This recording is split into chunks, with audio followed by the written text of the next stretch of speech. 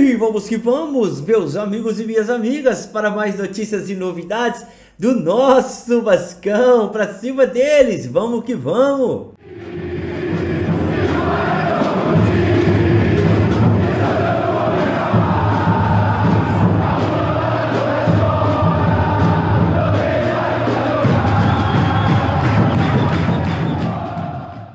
Primeiramente, aquele bom dia especial a todos vocês que estão comigo todos os dias. Muito obrigado. E você que está chegando aí agora, não se acanhe, se inscreva no canal, seja muito bem-vindo, porque aqui você fica por dentro de tudo que acontece no Vasco com muita credibilidade, aquela live maneira, notícia do Vasco, sempre aquele bate-papo de vascaíno para vascaíno. Então, ó, se inscreve aí, porque minha meta é chegar a 100 mil, hein? E para isso quero contar com sua ajuda. Se inscreva, deixa aquele joinha que ajuda muito o canal, fortalece demais, compartilha para geral e vamos que vamos.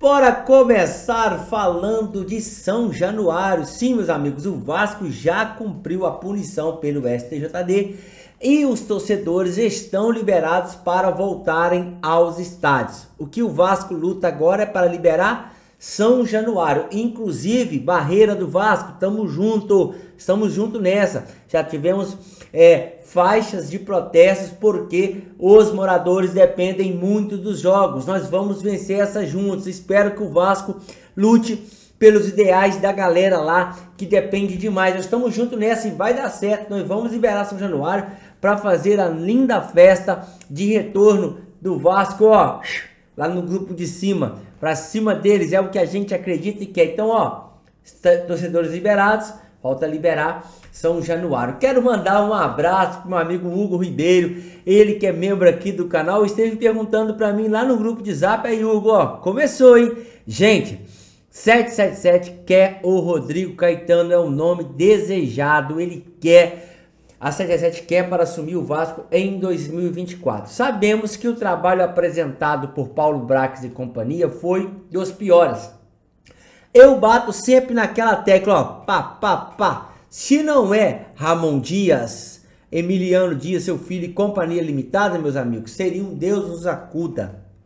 Mas como eles são profissionais de calibre, sabem trabalhar, o Vasco, através de Ramon Dias, chama a atenção de outros jogadores. Tanto é que por um triz o Vieto não veio. Ou ainda virá, Alex? Não sei, a informação que vem do Pedrosa é que ele vai para o futebol árabe, né? Mas vamos ficar ligado. Mas olha, 777 que é o Rodrigo Caetano, que é um desejo do torcedor vascaíno, que cá para nós, Josh é o mais um dos mais capacitados no Brasil. Se tivesse essa grana toda na mão dele, eu duvido que nós estaríamos colados no Botafogo ou em primeiro lugar. Eu acredito muito. E o Vasco segue ali agora para fechar o departamento de futebol, porque as mudanças vão acontecer. E Paulo Brax, nós estamos esperando a sua saída, porque você conseguiu bater o recorde, ter um tanto de dinheiro na mão e não conseguiu fazer o que a torcida mais desejava. Olha, meu amigo, minha amiga, o Vasco abriu negociação com Alan Sonhora. É o que diz nosso amigo Wagner Fernando lá em Twitter. Olha bem, gente, ele está sem contrato, tem 25 anos.